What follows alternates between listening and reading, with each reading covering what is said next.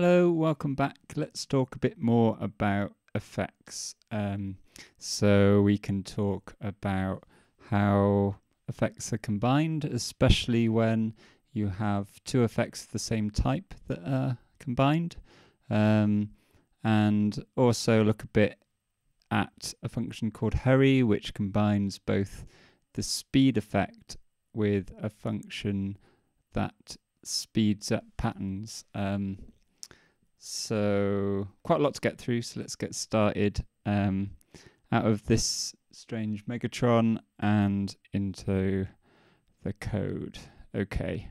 So this is what we were looking at last time. Um, just taking a n pattern rhythm and looking at how you can combine that with different effects. Um, so we'll be doing that sort of thing, um, but taking it a bit further. So let's have a look.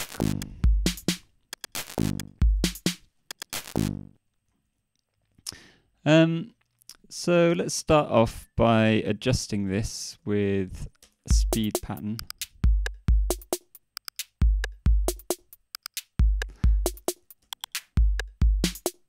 So half of it, the speed of the sample is doubled, so it goes up in pitch.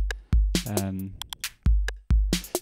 and what happens if we do this? That's the question. Um, let's take a simpler example. So let's take this sound. Okay and use speed to pattern that.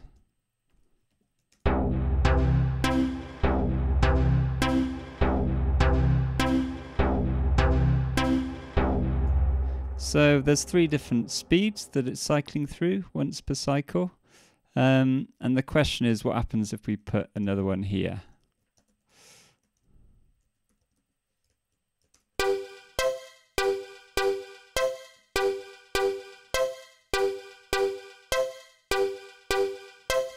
So you can hear there's still three events per cycle, but it's not changing each time. It's actually going between the sounds on the right. So it's going three, three, four. Um, that's because the way it matches up. So uh, this um, gets replaced with three. This also gets replaced with three because a third of the way through, which is when the two starts, um, the three is active on this side, and this gets replaced with four. Um, so what's happening is the structure's coming from the left, um, but the values are coming from the right. Uh, so in the last session, we were saying how using the hash, the structure always comes from the left, and it's the same here. Um, but because we're specifying it twice, it takes the structure from the left, but it throws away the values and instead uses the values on the right.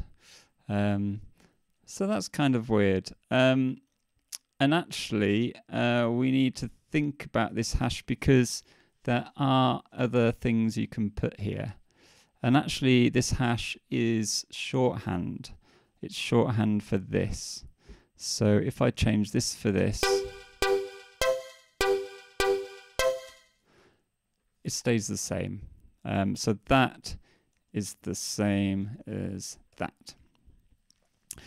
So this operator is um, interesting. Uh, we can do quite a lot with it. Um, so the first thing we can do is change the direction of this arrow. So if instead of greater than, we use less than, um, it doesn't actually mean greater than or less than as we know it from arithmetic or whatever. It just means it's just like an arrow pointing at where the oops, pointing at where the values are coming from.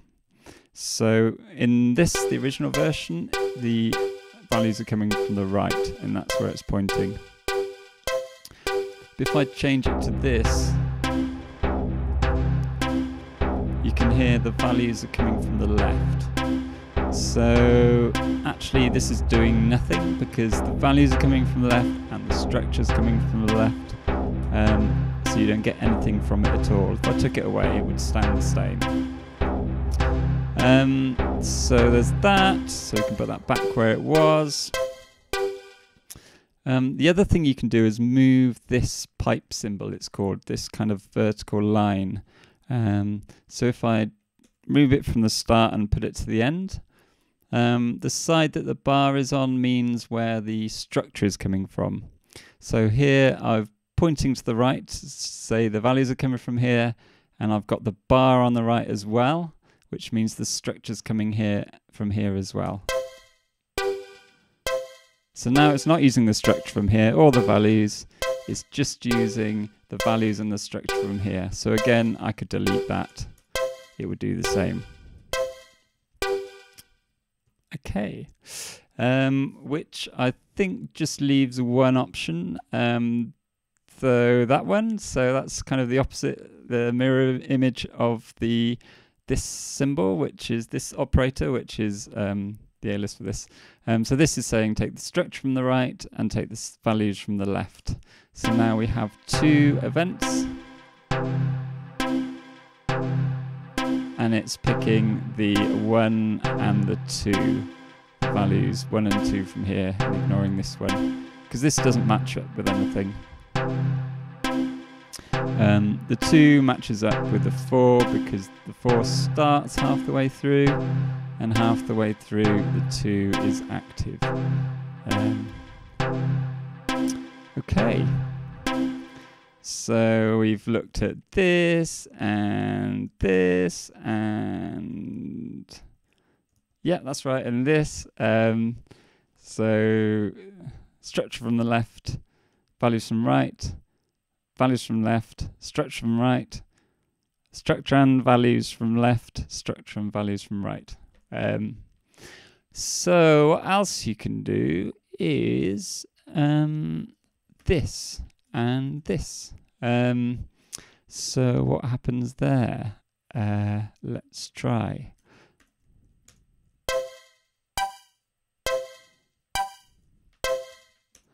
So this is similar in that um, because the bar's there, it's only taking the values from the right. Um, sorry, it's only taking the structure from the right. Um, but it's not throwing away um, values from the left this time or from the right. It's adding them together. So the 1 matches up with a 3, so you end up with 4. Um, and the 2 matches up with a 4, so you end up with 6. Okay. Um, so it's still matching them up um, and then adds them together.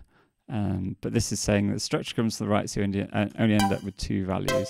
So if I put it this side, we should have three. So there you go. There's also multiply, so I don't want that to be too high with multiply. So if I multiply by 1, it'll just be the same as the original. By 0.5, it will go down in pitch. Uh, I mean, we can use mini notation things here, like slowing down.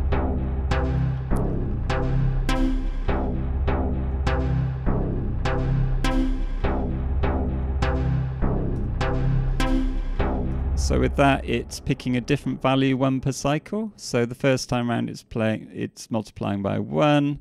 The second time round, it'll multiply by 0.5, and the third time round, it'll multiply by three.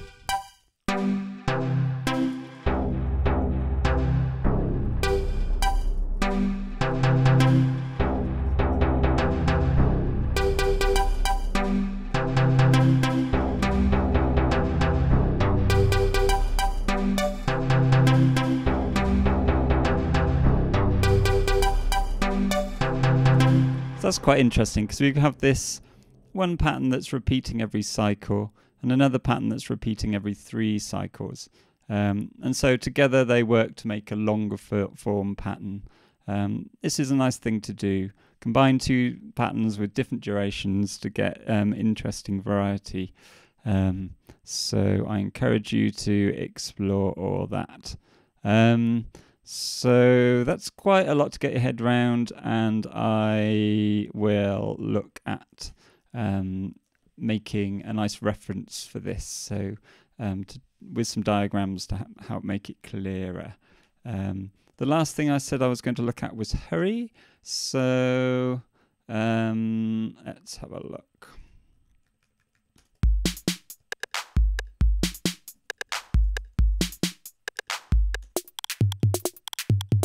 So hurry is similar to fast. Um, it makes things faster. So fast one stays the same. Fast two is twice the speed. Fast 0.5 it's half the speed. Um, so, um, but you might often find yourself wanting to speed up, pitch up the samples as well as speed up the pattern. So, um, in this case,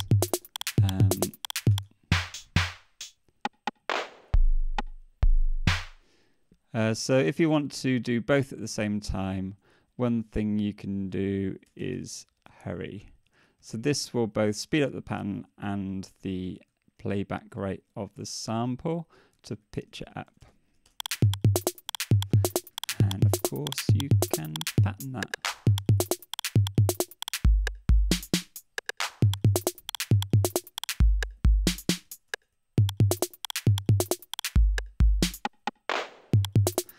So this is a nice, another nice way to add long form variety is to do this kind of thing.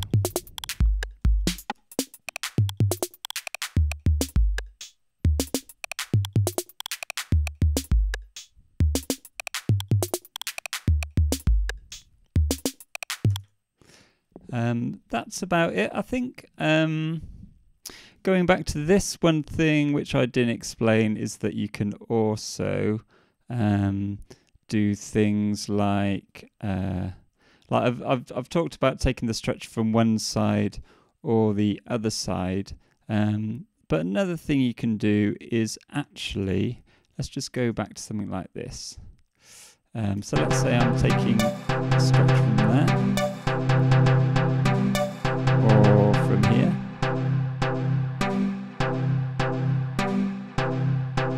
Thing you can do is take stretch from both sides.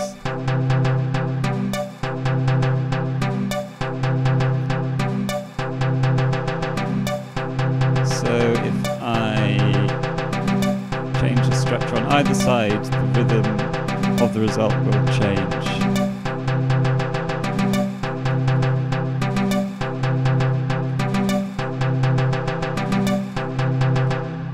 Actually you can leave out the bars.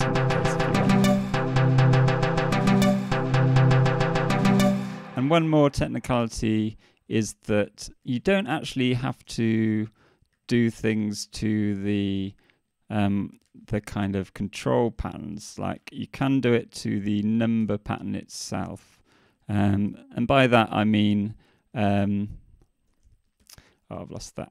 There you go.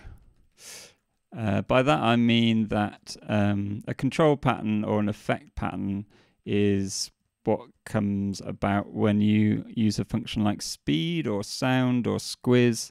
These are all control patterns. These are um, patterns which are sent to the synth and have some meaning for the synth.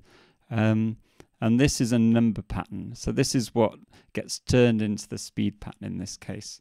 Um, so you can actually use these same operators using parenthesis um, on the actual um, uh, number pattern.